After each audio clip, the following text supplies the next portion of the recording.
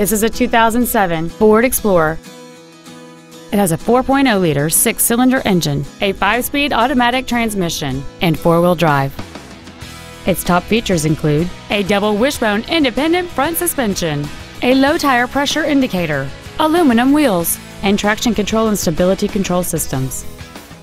The following features are also included air conditioning, cruise control, full power accessories, a CD player, a trailer hitch receiver, automatic locking wheel hubs, an illuminated driver's side vanity mirror, an anti-lock braking system, a keyless entry system, and this vehicle has fewer than 46,000 miles on the odometer. Contact us today to schedule your opportunity to see this automobile in person. Auffenberg Ford North is dedicated to doing everything possible to ensure that the experience you have selecting your next vehicle is as pleasant as possible. We are located at 115 Regency Park in O'Fallon.